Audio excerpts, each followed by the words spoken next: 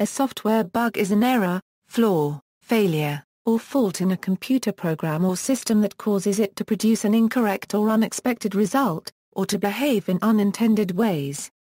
Most bugs arise from mistakes and errors made by people in either a program's source code or its design, or in frameworks and operating systems used by such programs, and a few are caused by compilers producing incorrect code. A program that contains a large number of bugs, and or bugs that seriously interfere with its functionality, is said to be buggy. Reports detailing bugs in a program are commonly known as bug reports, defect reports, fault reports, problem reports, trouble reports, change requests, and so forth. Bugs trigger errors that can in turn have a wide variety of ripple effects, with varying levels of inconvenience to the user of the program. Some bugs have only a subtle effect on the program's functionality, and may thus lie undetected for a long time. More serious bugs may cause the program to crash or freeze. Others qualify as security bugs and might for example enable a malicious user to bypass access controls in order to obtain unauthorized privileges. The results of bugs may be extremely serious.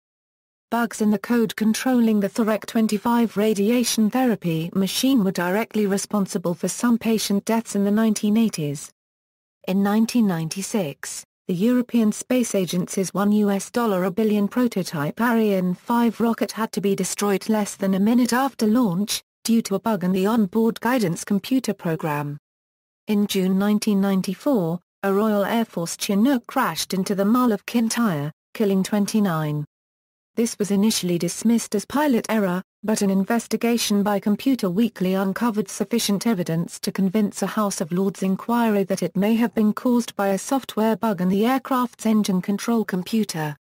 In 2002, a study commissioned by the U.S. Department of Commerce National Institute of Standards and Technology concluded that software bugs, or errors, are so prevalent and so detrimental that they cost the U.S. economy an estimated $59 a billion annually, or about 0.6% of the gross domestic product.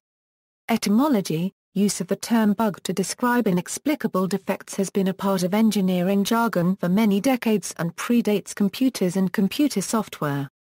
It may have originally been used in hardware engineering to describe mechanical malfunctions. For instance, Thomas Edison wrote the following words in a letter to an associate in 1878. It has been just so in all of my inventions. The first step is an intuition, and comes with a burst, then difficulties arisia and a euro this thing gives out and, it is then that bugs a euro as such little faults and difficulties a quality a euro show themselves and months of intense watching, study and labor are requisite before commercial success or failure is certainly reached. Baffle Ball, the first mechanical pinball game, was advertised as being free of bugs in 1931. Problems with military gear during World War II were referred to as bugs. The term bug was used in an account by computer pioneer Grace Hopper, who publicized the cause of a malfunction in an early electromechanical computer. A typical version of the story is given by this quote. In 1946, when Hopper was released from active duty, she joined the Harvard faculty at the Computation Laboratory where she continued her work on the Mark II and Mark III. Operators traced an error in the Mark II to a moth trapped in a relay, coining the term bug. This bug was carefully removed and taped to the logbook. Stemming from the first bug, today we call errors or glitches in a program a bug. Hopper was not actually the one who found the insect, as she readily acknowledged. The date in the logbook was September 9, 1947, although sometimes erroneously reported as 1945. The operators who did find it, including William Bill Burke, later of the Naval Weapons Laboratory, Dahlgren, Virginia, were familiar with the engineering term and, amused, kept the insect with the notation first actual case of bug being found. Hopper loved to recount the story. This logbook, complete with attached moth, is part of the collection of the Smithsonian National Museum of American History, though it is not currently on display.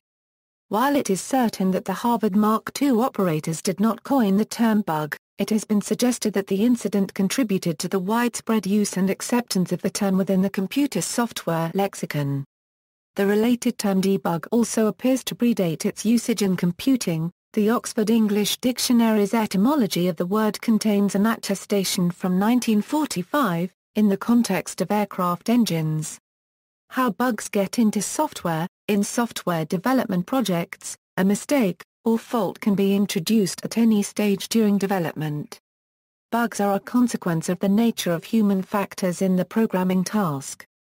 They arise from oversights or mutual misunderstandings made by a software team during specification, design, coding, data entry and documentation.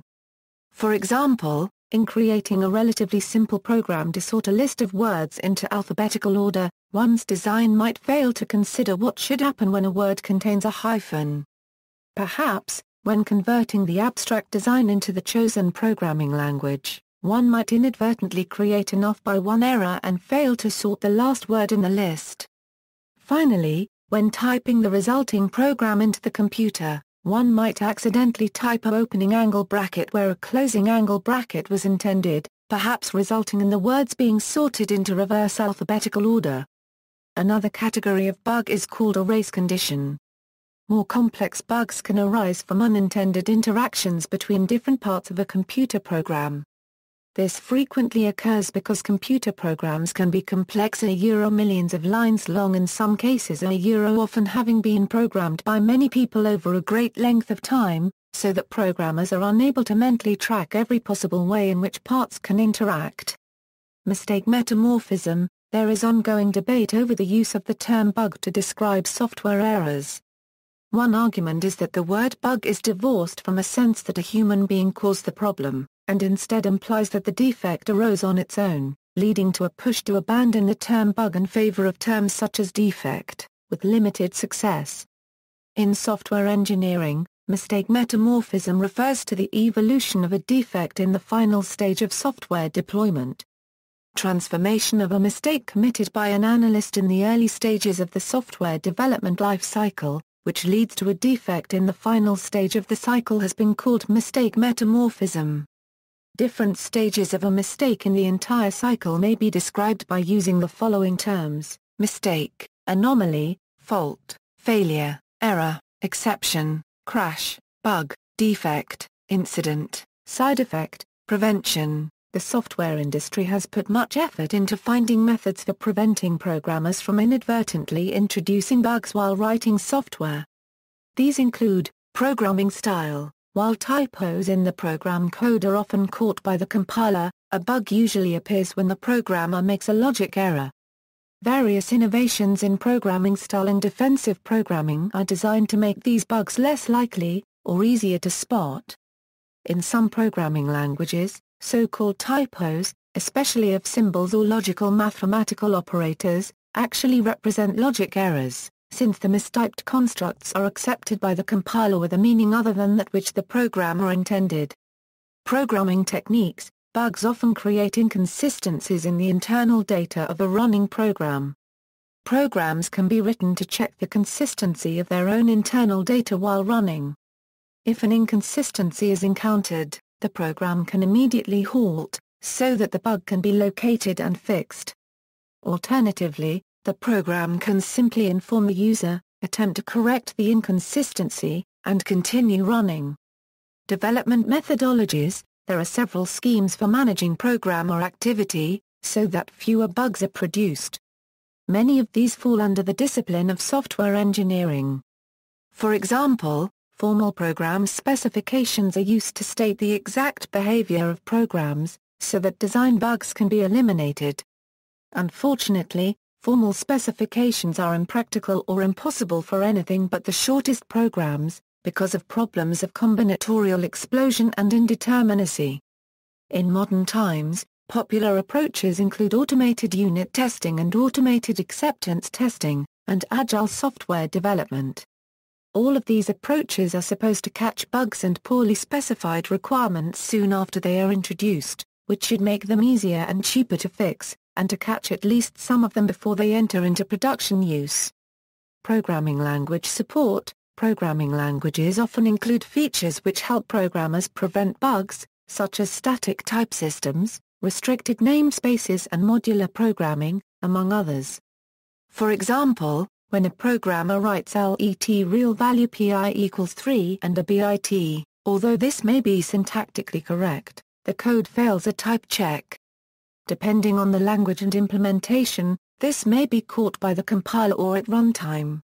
In addition, many recently invented languages have deliberately excluded features which can easily lead to bugs, at the expense of making code slower than it need be, the general principle being that, because of Moore's law, computers get faster and software engineers get slower.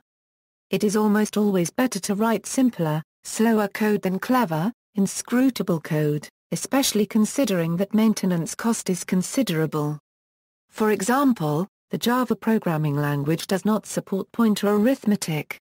Implementations of some languages such as Pascal and scripting languages often have runtime bounds checking of arrays, at least in a debugging build.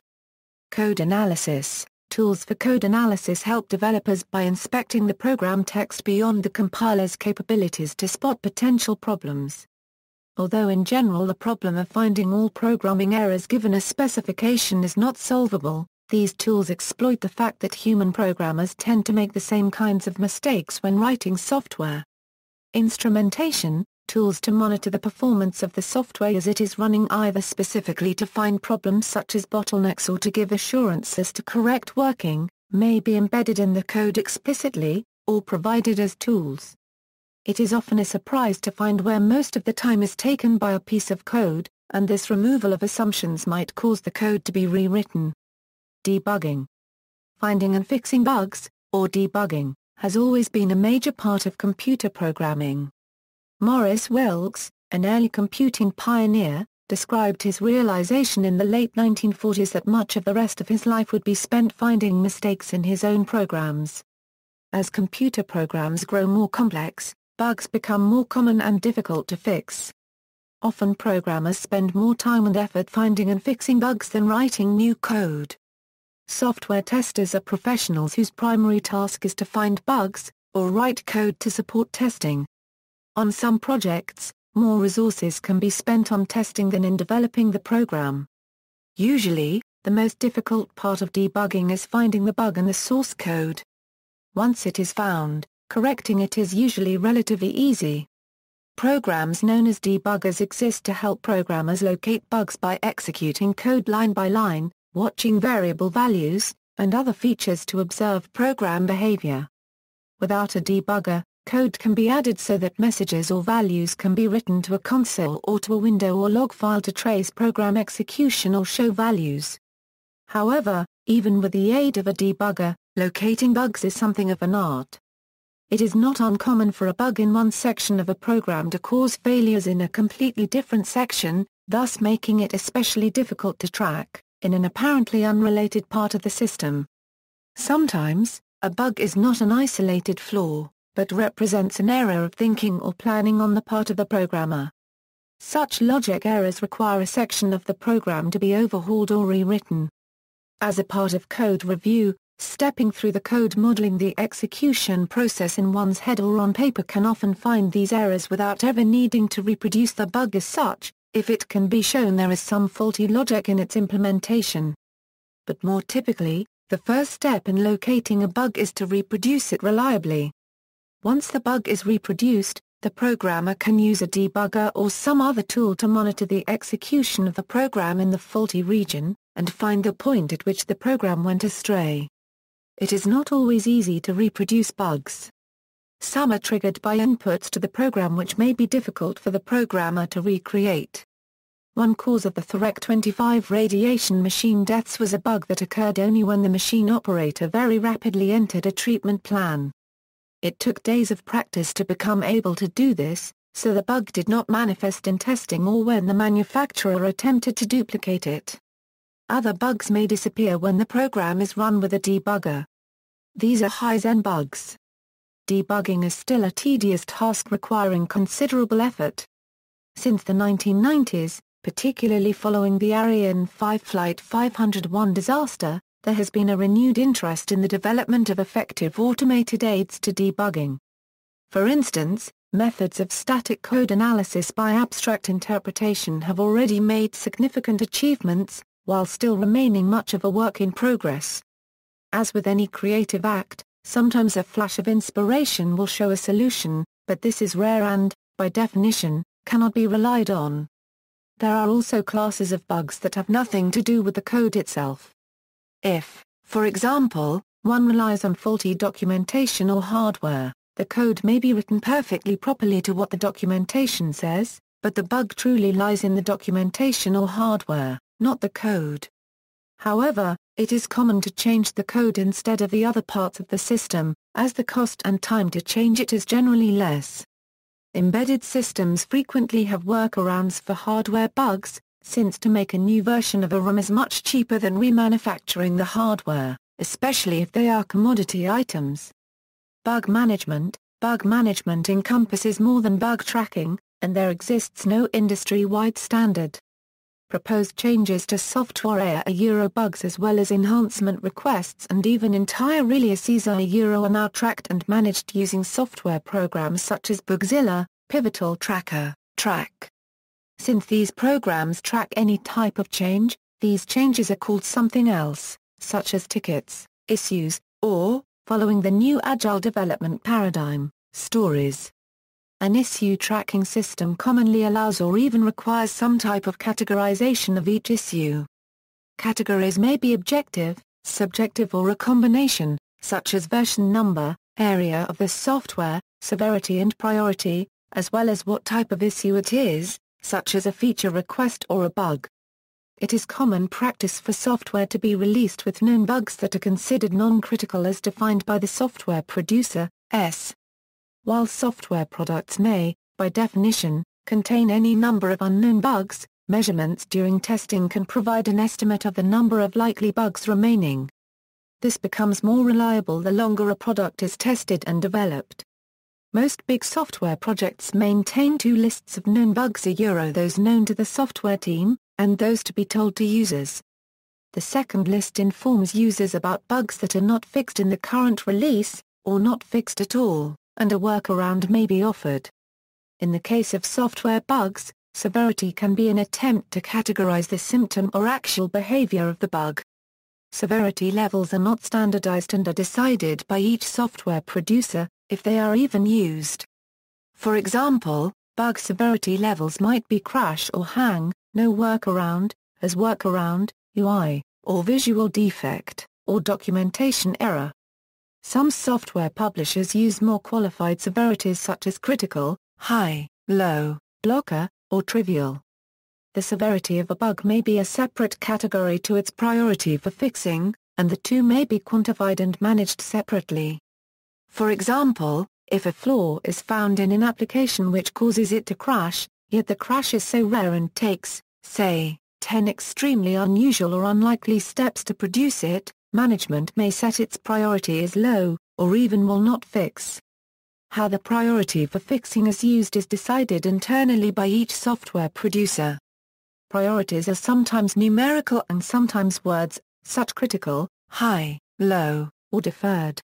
Note that these can be similar or even identical to severity ratings when looking at different software producers. For example, a software company may decide that priority 1 bugs are always to be fixed for the next release, whereas 5 could mean its fix is put off a euro sometimes indefinitely. A software publisher may opt not to fix a particular bug for a number of reasons, including, a deadline must be met and priorities are such that all but those above a certain severity are fixed for the current software release. The bug is already fixed in an upcoming release, and it is not serious enough to warrant an immediate update or patch, the changes to the code required to fix the bug are too costly, will take too long for the current release, or affect too many other areas of the software. Users may be relying on the undocumented, buggy behavior. It may introduce a breaking change. The problem is in an area which will be obsolete with an upcoming release. Fixing it is unnecessary. It's not a bug. A misunderstanding has arisen between expected and perceived behavior, when such misunderstanding is not due to confusion arising from design flaws, or faulty documentation. The amount and type of damage a software bug can cause naturally affects decision-making, processes and policy regarding software quality.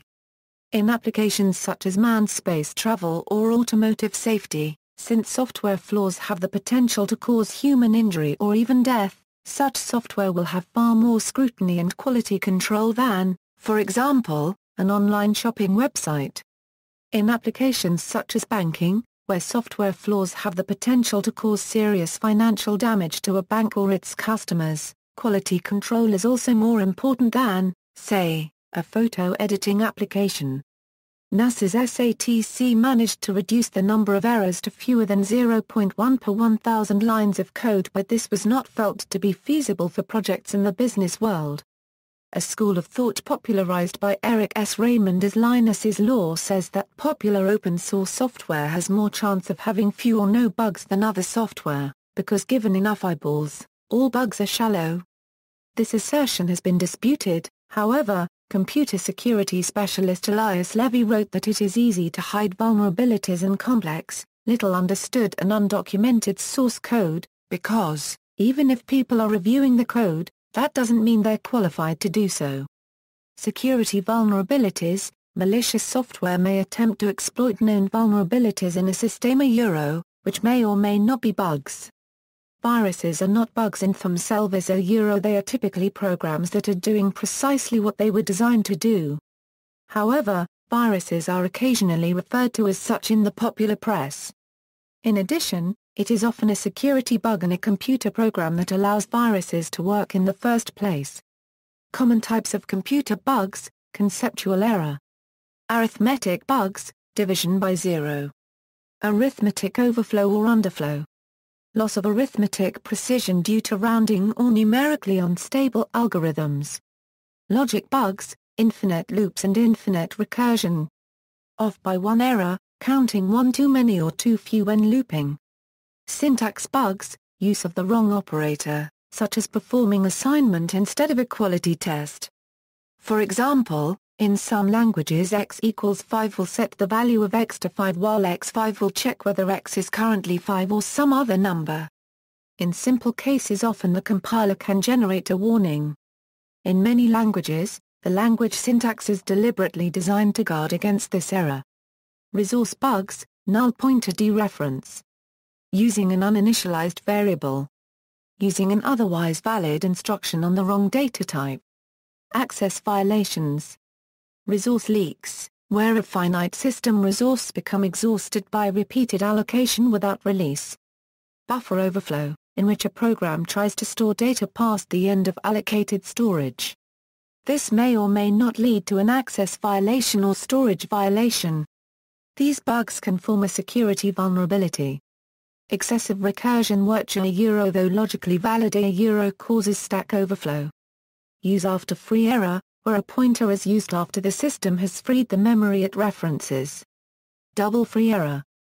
Multi-threading programming bugs, deadlock, where task A can't continue until task B finishes, but at the same time, task B can't continue until task A finishes.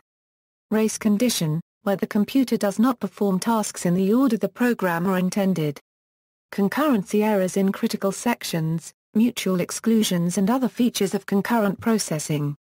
Time of check to time of use is a form of unprotected critical section.